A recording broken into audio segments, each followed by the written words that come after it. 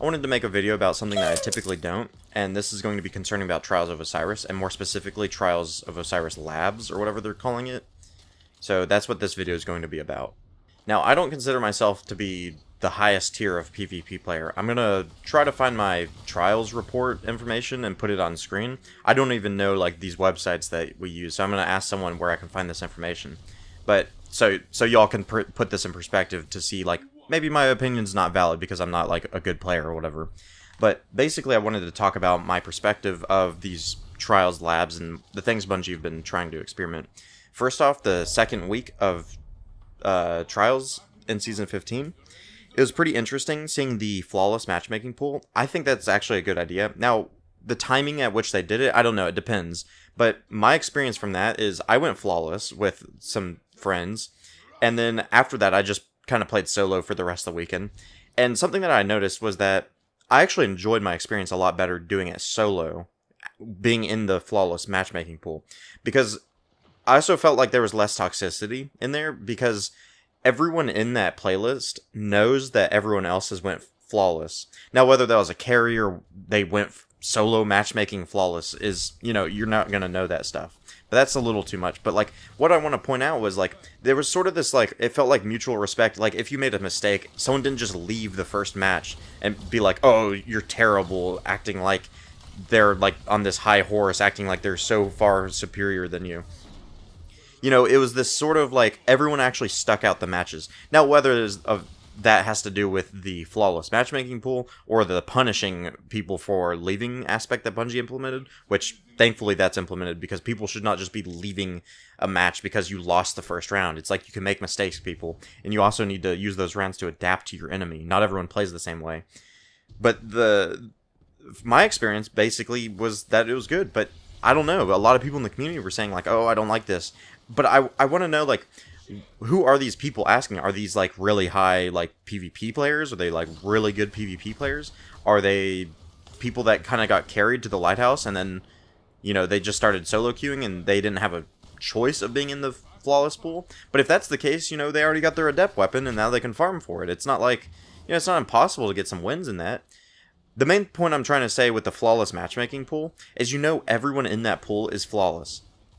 To my to my knowledge I mean, I guess you could carry some friends into trials and they may not be flawless. So maybe maybe that was the thing that was happening with people where like they were trying to get carried to the lighthouse, but the person carrying them had already went flawless. So that meant that every game they were going up against, they were going up against flawless people. Now, you know, stuff like that matters and that information is very important for feedback because it makes it to where the feedback is not I'm not saying it's illegitimate, like the feedback's feedback, you know, it's whatever, it's your opinion. But it puts in perspective of like oh, you know, this, this, and this. Like, had you done this, you wouldn't have been in that matchmaking pool. So maybe it wouldn't have been that bad. So maybe more information is the key here. While we're here, why don't you go ahead and smash that like button? The second thing I wanted to talk about was the current week of trials with the flag rotating game mode. Uh, again, I've seen people complain about this, and my perspective on who the people complaining about this are are the people that don't know how to play objectives. Frankly, like uh, that's the best way I can put it because this this is this seems like the best result for what Bungie wanted to see as a result. They didn't want to see stomp out matches, or in their words, 5-0 matches.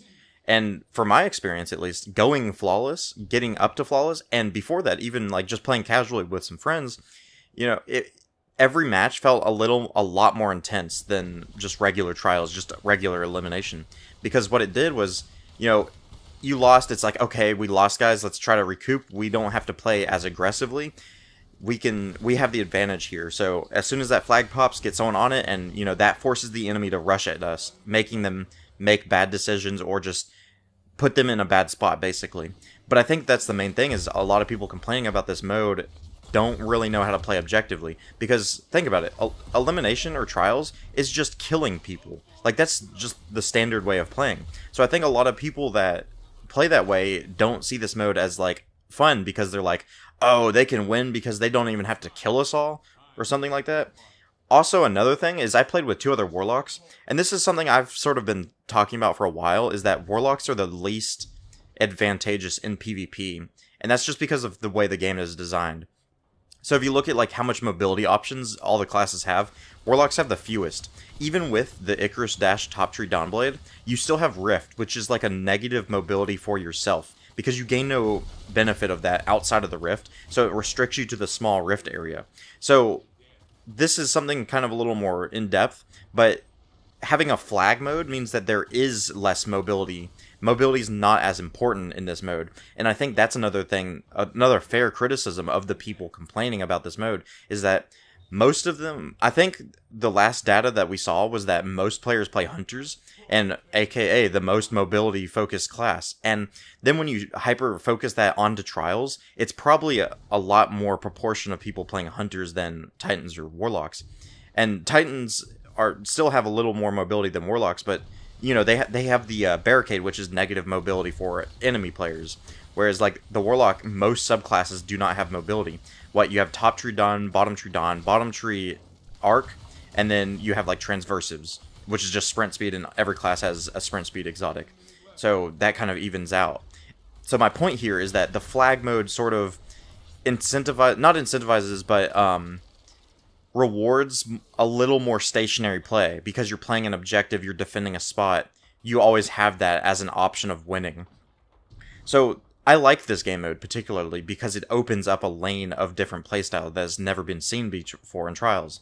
You know, usually the flag spawns in Trials when it's like 1v1 or and the time has run out or something like that or it's just like some stupid stomp where it's like 3v1 and they've just been waiting for their super to build up and then you know you you didn't jump off the map or, or you couldn't jump off the map or something like that you know I, I really think this this trials lab was a success from in my opinion but now apparently a lot of people in the community disagree. Now, I would really like to get everyone's like feedback. I would like to see why people don't like this stuff. I think a lot of it is just abrupt like, "Oh, this isn't what it should be. This isn't what I'm used to." sort of like, "Oh, change all any change is bad" sort of opinion. I feel like that's a lot of the community right now when they're talking about trials. So this video is getting a little too long for me, so I'm going to give a little TLDR and then my outro after that. So the TLDR is this. I think these changes are for the positive, for the better. I like the flawless matchmaking pool. It felt like after I went flawless and I played solo, I actually got competent teammates because I knew that they were flawless before, and it felt like a 50-50 win-loss ratio, and I feel like that's what the desired win-loss of any sort of PvP game should be for matchmaking purposes. And then the second point is I like the flag mode. I know a lot of people don't like it, but I think it it puts a shift on the gameplay. And I think most people that are saying that they don't like it, it's either one that ch any change is bad to them, like they think that changing it is just simply bad, and two, I think it puts a spin on the the uh, classes that are played. I think warlocks get a little bit more of an advantage in this mode, and I think that's a just thing. I think hunters have had the advantage for too long. It's not that they've had the advantage for too long, it's that they have the advantage in every aspect of PvP. They have faster super regen on bottoms solar golden gun. They have many more mobility options. They have slowing options. They have ranged melees. They have just so many more options for PvP, whereas the other classes don't get as many. So I think this game mode incentivizes more structure and uh, playing the objective, which a lot of people do not seem to be good at playing the objective. Thanks for watching. If you like this video, a thumbs up is appreciated. If you want to see more of this content, please consider subscribing. And if you want to help me out, you can go check out my other YouTube channel, Spenik Games. I have two animations up right now, and there's going to be up to six, so please go check all that stuff out. I would really appreciate it.